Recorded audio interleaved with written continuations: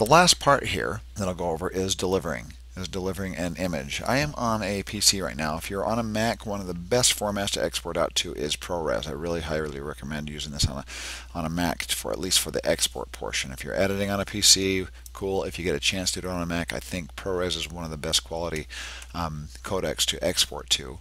They have ProRes LT, ProRes Proxy, regular ProRes, ProRes 422, ProRes uh, 444. They got a whole bunch of different types of uh, formats to encode to.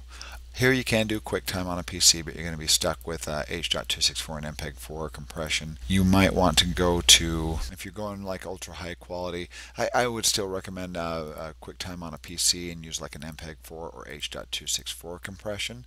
You do the best, you can actually set your data rate here. Uh, data rate, pretty standard. If this is, since this is red footage and I want to maintain the quality, it really depends on what I'm going to. If I'm going to, if I'm going to YouTube, 50,000 kilobits per second will be, will suffice. That will be plenty for for YouTube for a YouTube setting. Unless you're doing 4K, you might want to up the resolution. I might want to up up the uh, data rate on that a little bit. There are some options. You have some resolution options here as well. Now, one thing I want to point out is this project. We are editing this project at 1920 by 1080. So before we get into the delivering here, I just want to show how to conform everything to one aspect ratio and one resolution. Say this is going to be showing in the movie theater. You got to know what format you're going to here. I'm going to save my project. I'm going to go up to File, go to Project Manager. I'm going to right click on this now and go to Config on my project and go to Config. I'm going to change the resolution here. Let's say I'm showing this in, let's, sure, why not? Let's go to something Let's go to the big theater setting here. I'm going to go to, scroll down to a 2K. We're going to a big movie theater. We're going to do a 2K movie theater and we're going to do 2.39 to 1, which is a very wide aspect ratio. So let's get kind of extreme here. This is the widest that movie theaters usually show in is 239. Uh, 185 is a standard. This is the beginning aspect ratio for cinema. This is kind of the ending aspect ratio, the widest it gets. And uh, below this you'll have 16 by 9 or 1.77 to 1. So 1.77 or 1.78, 1.78 to 1, 1.85 to, to 1, 2.39 to 1. And as these numbers get higher, your, your aspect ratio gets wider. So I'm going to select this one. We've got a timeline rate already set. You can't change that now. I'm going to hit save and I'm going to open this project now.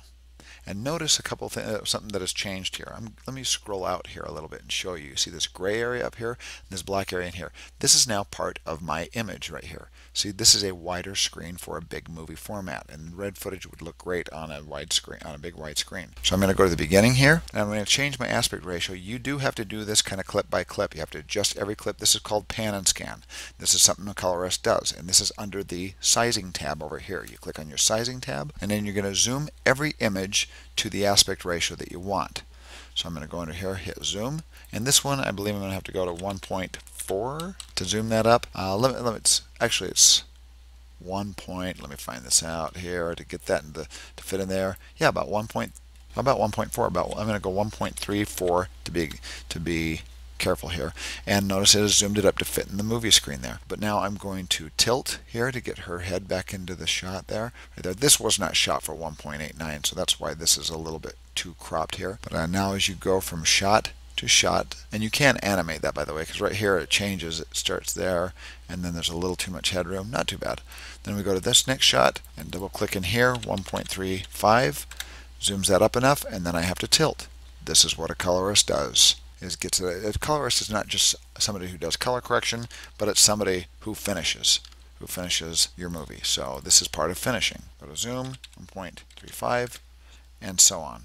And like I said, this wasn't shot for that, so these images are a little too zoomed up, they're a little too cropped, but still, this this is looking pretty good. 1.35, and you'll keep doing this until you get everything, you'll pan and tilt until you get everything positioned properly and then now look at this. We have a 2.39 to 1 aspect ratio ready for cinema, ready for the big screen. So, uh, so now your next part is the actual, after we get finished doing this, the next portion will be to deliver. So now I'm going to go to deliver. Now that we know I didn't do everything here, so let's go back and pretend like my movie's all done. Look at this nice wide cinema aspect ratio and we're going to export this out. I'm going to go under look at it has already set my resolution for the standard that my timeline is set. I'm going to go QuickTime MP4 compression quality. And the version that I'm going to show you after this is actually one that was color corrected by somebody else and it was finished by somebody else. So I think the aspect ratio is in reality like about 16 by 9 or 1.85 I can't remember. But I'm going to show this movie at the end uh, and you can watch it and enjoy whatever. So I'm going to go QuickTime I'm going to do H.264 MPEG 4 is another good compression. I'm going to restrict this to 50 megabits for 50,000 kilobits per second for YouTube. Uh, keyframes, going to automate the keyframes as high enough quality. I don't have to worry about keyframes necessarily. I've got my resolution set and my frame rate. And now I'm going to add this to my render queue. I'm going to tell it where I want it to save it. I'm just going to go to my videos on my computer here, which is fine. Now I can select this right here and hit start render.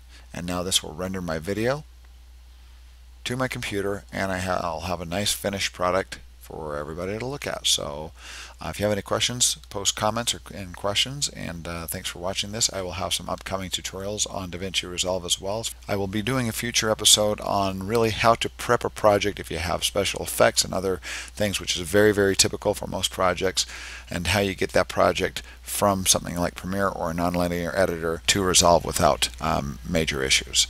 So and one other form of delivery here uh, is to export out a project if you're switching computers. If you're sending a project to somebody else, you can go up to File, Export Project, and this will export out what's called a DaVinci Resolve project, which is a very small file.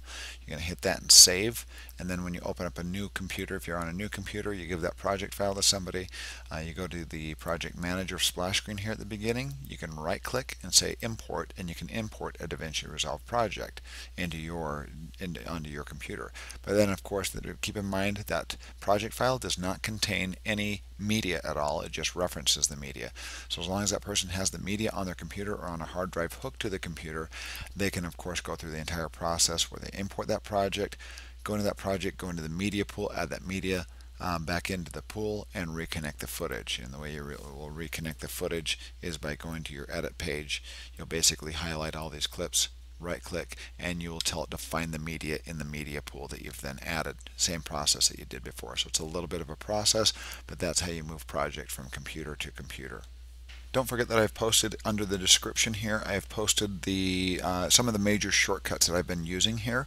There are a ton more shortcuts for DaVinci Resolve. You can look up lists online, but these are the major ones that I've been using here. So if you need to use these short shortcuts, remember to replace Control. If I've got Control and Alt on a PC, it's going to be typically Command and Option on a Mac. So Control Alt will be Command Option and of course where I have option that's a Mac so these are kind of mixed shortcuts but just so you're aware of that and command equals control on a PC enjoy